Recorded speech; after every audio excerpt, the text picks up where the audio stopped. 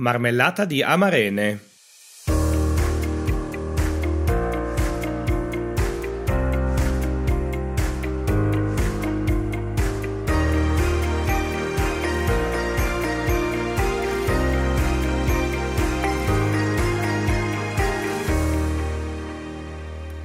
Ecco le proporzioni. Ogni 500 g di amarene denocciolate, 180 g di zucchero.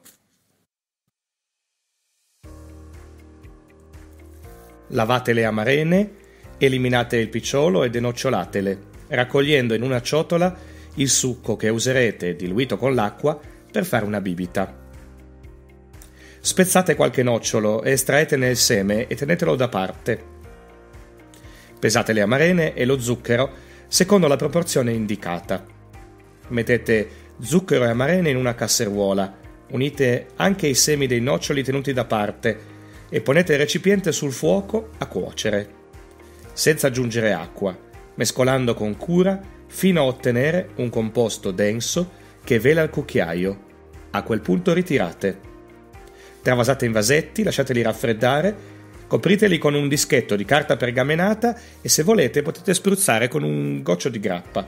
Chiudeteli ermeticamente. Buon appetito!